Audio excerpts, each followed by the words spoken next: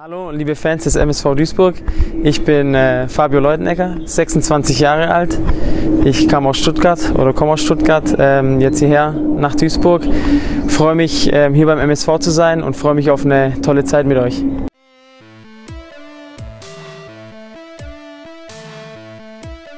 Persönlich äh, kenne ich noch nicht. Ähm, kenne ihn natürlich als Spieler, habe einige Spiele von ihm gesehen. Ähm, ja, habe ich jetzt auch erst erfahren, dass er nicht weit weg äh, von meiner alten Heimat herkommt. Ähm, ja, mal schauen, wir werden uns sicher mal äh, drüber unterhalten.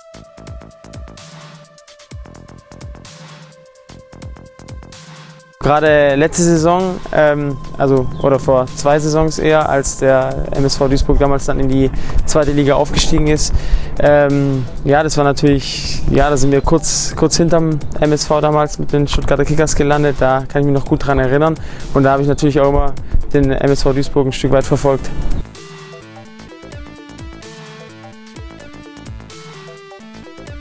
Natürlich ist es was Neues, aber ich freue mich auch einfach auf die neue Aufgabe, auf, auf das neue Umfeld.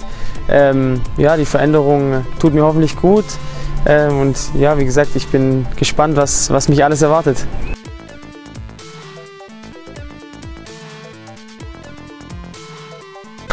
Bisher konnte ich noch keine testen. Ich hoffe mal, dass mir der ein oder andere einen, einen schönen Stand zeigt, wo es die beste Currywurst hier gibt.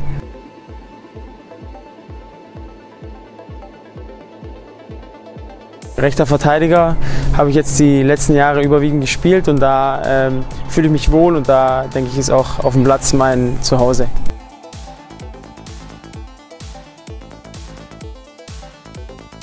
Neben dem Platz, ja, am liebsten mit äh, netten Menschen, mit Freunden, Familie. Da in der Umgebung fühle ich mich am wohlsten.